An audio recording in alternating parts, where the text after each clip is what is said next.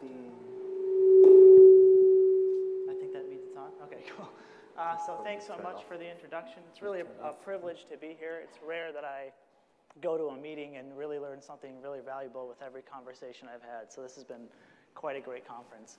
Um, I'm excited to talk today a little bit about manipulating excitations, particularly in magnetic oxides, and these are compensated systems, so that's along with the theme of the conference. I am slightly diverging from the flow a little bit. There's not a ton of X-ray in this uh, talk, but I think the other Caretta, who actually spoke earlier uh, this morning, covered enough for the both of us, so that's good. Um, so uh, what we're talking about today is magnetic excitations, and so what do I mean by those? I what I'm talking about is really non-collinear spin textures, things like domain walls in 1D, skyrmions in 2D, and even more elementary excitations like uh, spin waves and magnons. And once again, I thank Peter and Claire for really nicely introducing uh, spin textures in this session already. What I'm particularly excited about, which I think is a little different, is actually our ability to manipulate these uh, systems, do dynamics, and ultimately control their propagation as well. So what I'll tell you today is how we can really use these ferroic excitations and specifically in oxide materials. And the reason we're using oxide materials is because they have a vast number of novel functionalities that we can take advantage of. Things like non-trivial band structures, some of these have been mentioned in this conference already, correlated phenomenon, and I think what's also very key is the ability to really precisely atomically engineer these structures and their interfaces uh, for desired functionalities. And hopefully this lends itself to some new materials physics, which I'll talk about today. But the key to all this is really, once again, the ability to grow materials with atomic precision combined with what I'll show you today is some in situ uh, characterization, mainly electronic characterization and some imaging. So if you get nothing from today's talk, uh, just take away this slide, how the power of both uh, growing atomically precise systems combined with this in situ characterization in oxides can lead to some pretty fun things. So with that, here's the outline for the talk today. I'll spend most of my time actually talking about a garnet oxide system, so something that may be more familiar uh, to this crowd, a very historic system, but I'll show you how by engineering these materials correctly, by growing them correctly, you can actually uh, excite dynamics so fast you hit new physics. So we'll look at relativistic dynamics in these systems. And then uh, at the last part of the talk, I added this in because there's so much wealth of knowledge here on magnons and spin waves.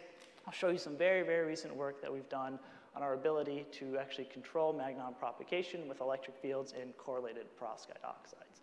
And of course, the underlying theme will be highlighted throughout the talk.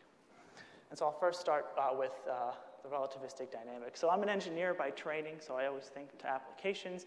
And what was nicely uh, portrayed earlier in this session by, by Peter um, was racetrack memory. And so uh, I'll remind you a few things. I won't try to cover what Peter already covered, but I'll remind you that most data on Earth is actually still stored magnetically, either through hard disk drive or actually tape is still used predominantly, particularly in the cloud. And so we essentially use the magnetic state of one or a few grains uh, to represent one or zero bits of information. And while this is really dirt cheap and incredibly dense, we all know that there are some dramatic disadvantages in terms of the robustness and the speed of these types of memories. So one proposed alternative is perhaps instead of using physical discrete bits that actually physically move in a system to something more solid state, where you have a continuous magnetic media where you have magnetic domains, which are separated by finite transition regions, which are domain walls. So if you can move these domain walls, you can effectively move bits in solid state with no moving parts. And this has, of course, been conceptualized in more than just one dimension, two dimensions like skyrmions, and I fail to mention here 3D systems as well. But more than just memory, domain walls have also been looked at for things like uh, logic as well, neuromorphic applications, which I also fail to show on this slide. And so how do we actually manipulate these textures? Well, today the most popular way to do that, and probably one of the more efficient ways to do that, is by using spin orbit torques, which has been very nicely introduced uh, the, uh, throughout the conference, so I won't cover this in detail. But we essentially use spin accumulation in uh, materials with large spin orbit coupling, so heavy metals, 5D transition metal oxides, TIs, or even magnetic materials, which has been shown uh, also throughout the week, can uh, have uh, very strong spin Hall angles. Uh, and so essentially by placing a magnetic material next to one of these spin to charge converters, we can convert a charge current into angular momentum and excite dynamics and drive these spin textures into motion. And we've known this for essentially a decade. It's been used to switch the magnetization of bits and even drive domain walls into motion as well. And so the canonical or classic system that's been used to study domain wall dynamics for a number of years is really an all metallic system. It's quite elemental in nature. So we use a spin-orbit coupled material like platinum, which is used most of the time with usually a, an elemental ferromagnetic metal, something like cobalt, nickel, or iron, or some basic alloy uh, of these uh, materials. And this system actually has a number of advantages. Uh, so this interface between the two gives rise to perpendicular magnetic anisotropy, which is great for scaling and efficiency. And I think importantly for domain wall dynamics, this interface also gives rise to a strong Dzyaloshinskii-Moriya interaction, or DMI, which uh, stabilizes uh, chiral Néel domain walls. And in fact, the Néel domain wall is actually a necessary ingredient for spin-orbit torque-driven motion of domain walls. In fact, the strength of the torque is actually proportional to the uh, Néel component of that domain wall. So without a Néel domain wall, you can't drive a domain wall with a spin-orbit torque. And so this system works, uh, works pretty well. You can drive domain walls to a few hundred meters per second, which seems pretty fast. Um, but what we've learned over the years is that, in fact, there's a, a, plateau or a saturation of the velocity at high current densities. And this is actually fundamental to ferromagnetic systems and actually depends on the strength of the DMI in your material. And so this has kind of more or less inhibited the progression of domain wall dynamics or the top speeds that we can hit for a number of years. And so what about the DMI is actually limiting uh, domain wall velocity? Well, it actually has to do with how the torque acts on a domain wall. So when you use a spin orbit torque to drive a domain wall into motion, not only does it drive its propagation, but it also acts to distort or cant that domain wall towards a Bloch configuration. So the harder you drive the domain wall, the larger the torque, but also the larger the distortion. So these two effectively ba uh, balance out, and you get this plateau. So how, how, uh, how high this plateau is is really how stiff this domain wall is or how large that restoring force is on the domain wall. So essentially, it's the strength of the, D, the DMI which controls this plateau velocity or how stiff this domain wall is. And the DMI is actually a really hard thing to engineer the strength of. Fortunately, a few years ago, we figured out there's a way around this. You can just change the class of magnetic materials you're using to compensated systems. So we've used ferrimagnetic systems, which are systems with multiple magnetic sublattices where you can very easily tune things like the net magnetization and the net angular momentum. And the more important of these two for dynamics is the net angular momentum. So I'll spare you the details, but it turns out you can actually take these equations of motion, this 1D model, and adapt them to account for the net angular momentum of the system. And when you plug in a net angular momentum of zero, you actually get an equation of motion where the velocity of the domain wall is linear with the current density. and actually never saturates. You always get linear dynamics. And to prove this, we actually designed a compensated system that has zero angular momentum, and indeed that's what we get. We get purely linear dynamics uh, where we can overcome this plateau velocity. And, and also, uh, we actually increase the mobility of the domain wall as well. And once again, going along with the theme, this is really enabled by more advanced capabilities of doing in situ measurements, looking at these domain walls as they move, as it happens. And of course, we're not the only group to realize this. Here's just an example of a few examples of other groups and papers that have done this as well. So really what limits the, uh, the motion of metallic domain walls uh, in, in, in, metallic magnetic systems is really their mobility. So if you look at the, uh, the velocity expression and particularly look at the mobility, one of the key terms here is actually the Gilbert damping. And metallic systems, because of their conducting electrons, really suffer from large damping. So their mobilities are, are quite low. This slope is actually quite low. Fortunately, and this is where oxides come into play, uh, oxides, certain oxides, particularly garnet oxides, are very, very famous for their low damping.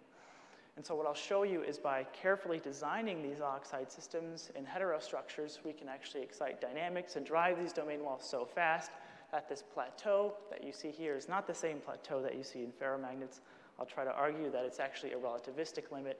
Uh, in fact, uh, we've reached the ultimate limit that this domain wall can move in this particular material. And, and therefore, really uh, accelerate the field of domain wall dynamics. And so I'll introduce garnets just a little bit. They're a very historic classical system. Even in thin film form, they've been around for at least 60 years. Uh, they're very, very complicated, complex oxides, uh, but magnetically speaking, they're relatively simple. There's just three magnetic sublattices The tetrahedral iron is antiferromagnetically coupled to any rare earth dopant, and it's also antiferromagnetically coupled to the other uh, iron atoms in the octahedral sites. But the beauty of these systems is that they're incredibly tunable with composition. So depending on what element you stick here in this rare earth site, you can dramatically change the material or the magnetic properties. For example, here I just show how you can change the saturation magnetization as a function of temperature and even the compensation temperature itself, all while retaining really high Curie temperatures. You can also engineer other things. I'll show you you can actually engineer the anisotropy in these materials as well as the damping itself. So really, uh, what, what gives, right? We've known about these materials for 60 years, so how come, we can, how come it's now that we're actually using them in these uh, applications? Well, it's really, once again, the ability to synthesize these materials with atomic precision. We can now grow these materials very, very thin, and by thin I mean on the order of one or two unit cells thick while still retaining full bulk magnetization. And what this allows us to do is really use interfaces to dictate or drive materials properties. So for example, we can use epitaxial strain and magnetostriction uh, across these interfaces to control the anisotropy and get PMA in these materials. We can drive spin torques across these interfaces using heavy metal overlayers and even that are so large that you can even switch the magnetization with currents. And more recently, we've even discovered chiral interactions across interfaces, both metal oxide interfaces and oxide-oxide interfaces in these materials as well. So really, this system gives us all the ingredients that we need uh, for ultra-fast dynamics. So we asked the question, really what limits the domain wall speed in a material? And that's also actually a solved problem. It was actually solved over uh, 40 years ago, about 40 years ago, um, with some very nice theoretical work. Here I just list a couple of those papers, but the list is actually quite long. And it turns out that uh, moving domain walls, they're solitons, and so they can actually mimic relativistic kinematics. And another way of saying that is because they're solitons, they're solitary wave packets, and they're comprised of a superposition of spin waves. So the fastest you can move a domain wall is actually the spin wave group velocity of a material. And this was actually confirmed more recently with some numerical and atomistic simulations by several groups, which not only show that this is indeed the upper bound, but they even give examples of materials that could even achieve this upper bound. And these are essentially compensated systems like the ones I've been showing you. And so the material system we chose in particular to investigate this is actually a bismuth substituted YIG. We actually get rid of the rare earth because the rare earth actually increases the damping. So the advantages of this material are, once again, it has PMA, it's somewhat compensated since the ferrimagnet, and once again, it has much, much lower uh, damping, even than other rare earth iron garnets. The one challenge with this material system is we have a very, very hard time uh, actually introducing DMI into this system. We haven't yet been able to figure out how to do that in this particular composition. So what that means is that the domain walls are actually intrinsically immobile. They're Bloch, so they won't feel the effect of the spin orbit torque. But we can kind of cheat and get around this. So what we do is we actually apply a pretty small in-plane field, which is larger than the domain wall anisotropy, so we can actually rotate this Bloch domain wall to a Néel configuration while really not affecting the bulk, so to speak, of the domains. So this is exactly what we did. We've designed racetrack-like geometries where we can nucleate domain walls, uh, apply fields to essentially uh, stabilize Néel domain walls, and then drive these domain walls into motion. And in fact, we see quite fast velocities. So what you see on the left here is a plot of the domain wall velocity as a function of the current density.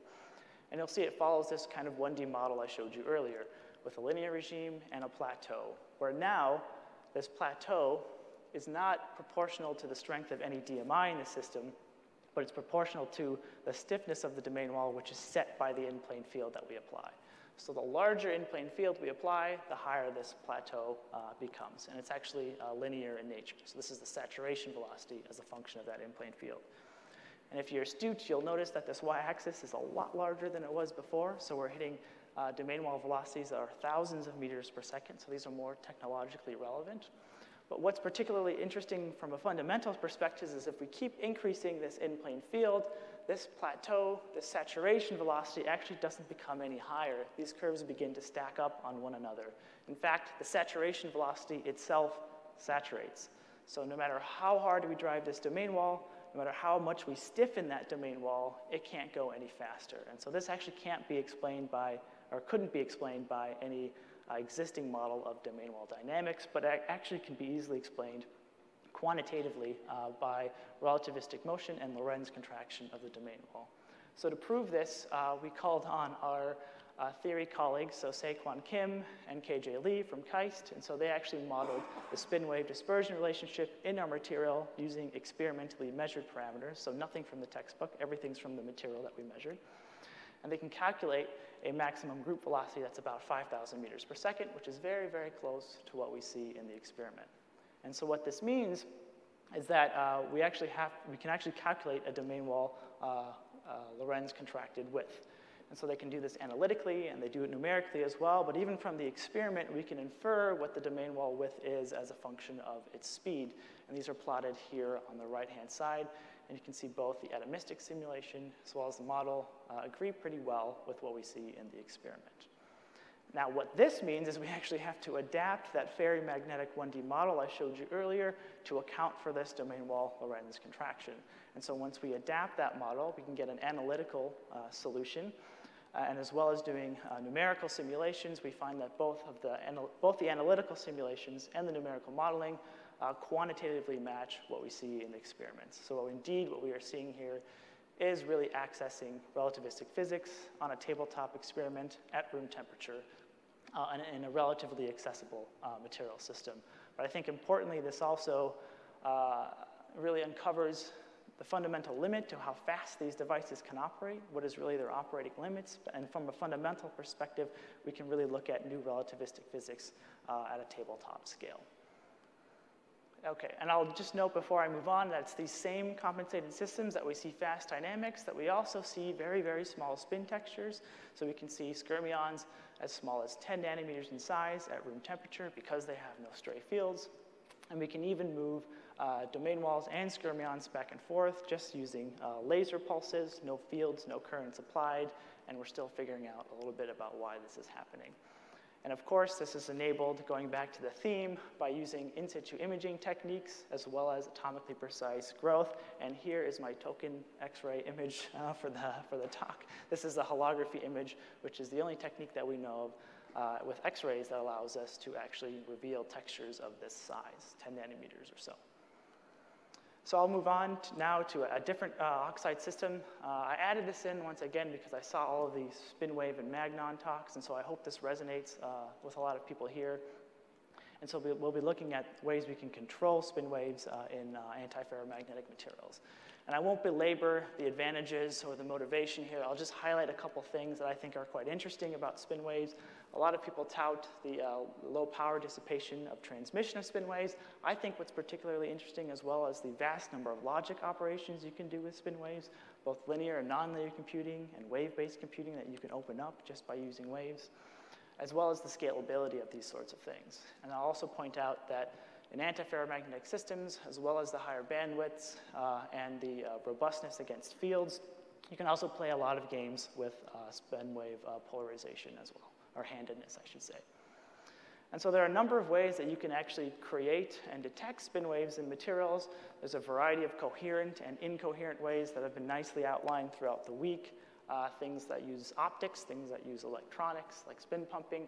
Uh, what I'll highlight today is I'll mainly focus on thermal generation, so using the spin-Seebeck effect, and also uh, detection uh, using the inverse spin-Hall effect. So these are incoherent mechanisms of spin wave uh, creation and detection.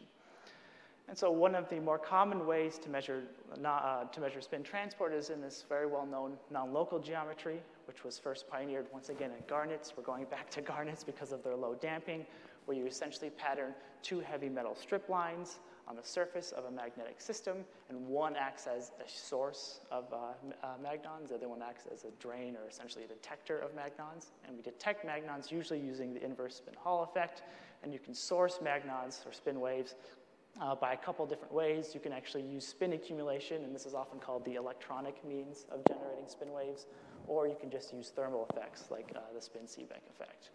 And inevitably, both of these happen at the same time, so luckily we can kind of disentangle the two uh, by using first and second harmonics to look at each one of these individually.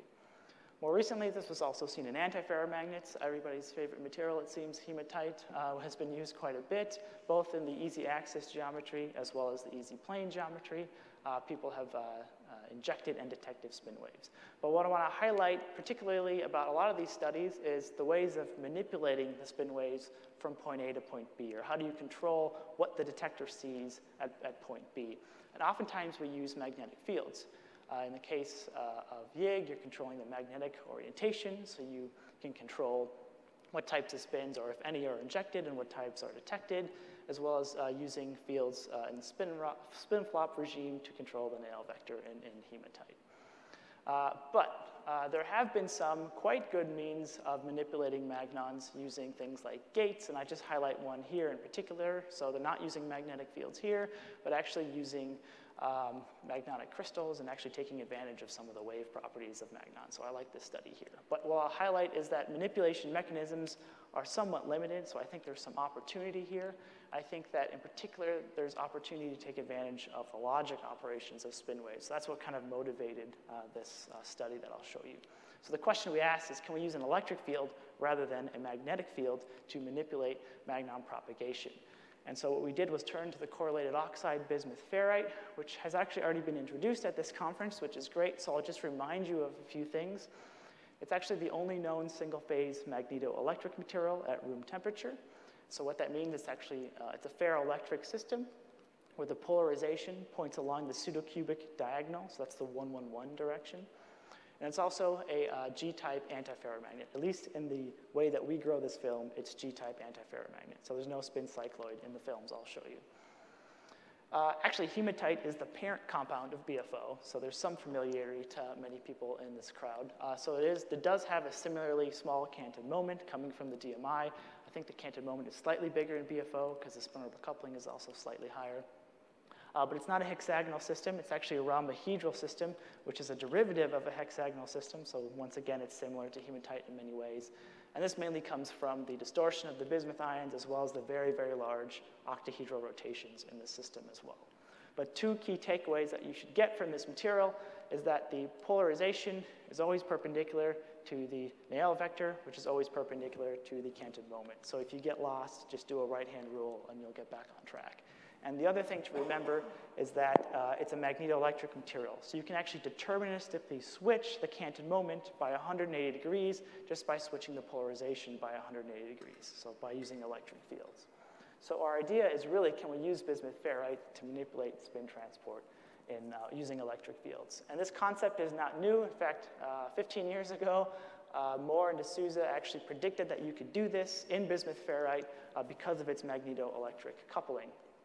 And then, yeah, more than 10 years ago, yeah, more than 10 years ago, uh, a group uh, even showed that you can uh, tune the spin wave frequency of BFO with an electric field as well, uh, imaged by or measured by Raman spectroscopy. But we're interested really in, in manipulating the propagation of magnons. So what we've done, or actually one challenge with BFO that I would like to highlight because it seems to be a recurring theme here is that in its bulk phase, bismuth ferrite has many, many domains. In fact, the polarization is degenerate along all eight of the uh, pseudocubic uh, uh, uh, diagonals. And so this causes a lot of problems, right? But fortunately, using epitaxy, once again, using atomically precise growth, we can grow these materials on really symmetry breaking substrates, so to speak, so orthorhombic substrates, and cut this number of eight uh, down to just two. So we can actually uh, control the types of domains in these types of materials, and one way to do that is by strain. And why this is kind of nice is that if you, if you look closely at this picture, uh, there's actually a net polarization uh, in the plane along the 0 and 0 direction uh, from these two uh, different types of domains that we uh, make. And we can, I won't, I won't badger the details here, but we can actually directly measure the ferroelectric material, ferroelectric orientation using uh, piezo force response microscopy, uh, which just confirms this net in, in plane polarization. And so this is actually exactly how we design our devices. So you can see the two non-local strip lines here. One's a uh, source and one's a drain. But the other advantage of this geometry is we can actually also use those contacts to apply electric fields across the sample. So we can actually control this net polarization and actually change the polarization back and forth and thereby change uh, the magnetization in the material just by applying a voltage. So we'll be doing experiments where we apply a voltage and essentially measure the uh, non-local response. And like I mentioned earlier, we're mainly looking at uh, um, magnons generated by the spin Seebeck effect. So the experiment basically looks like that. We apply an electric field, we measure the non-local voltage, and we do some techniques where we actually double check that measurement actually did not change the state of the magnet. And I'll, I'll skip those details for now.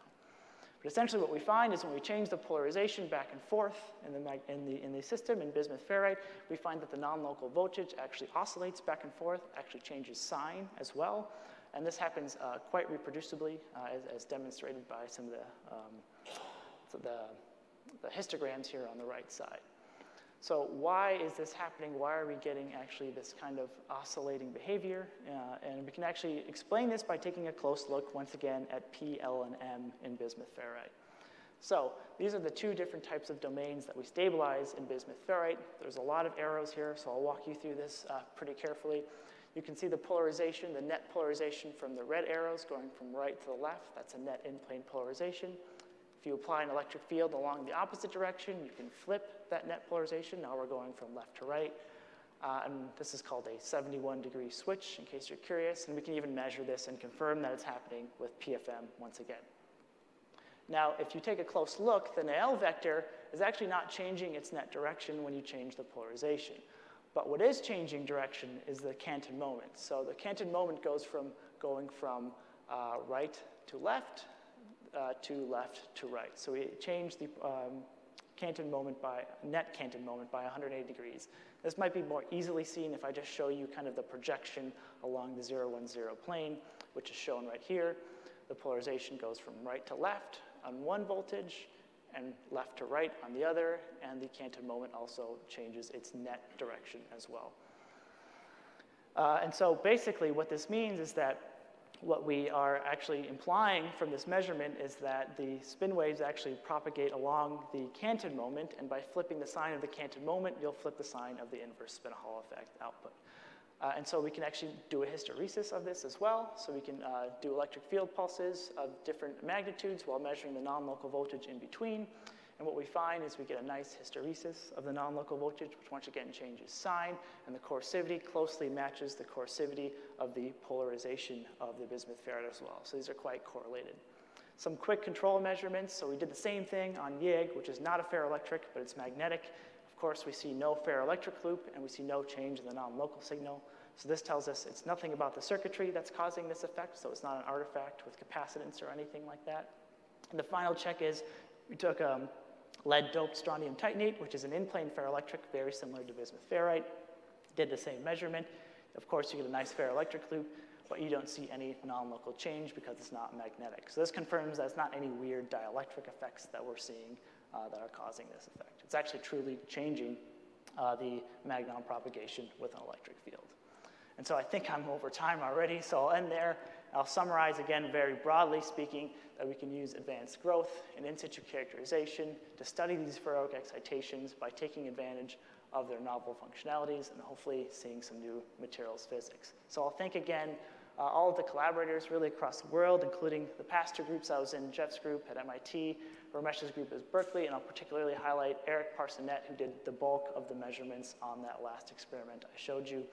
And I can't end without a selfish plug. I just started a group uh, at Brown two months ago.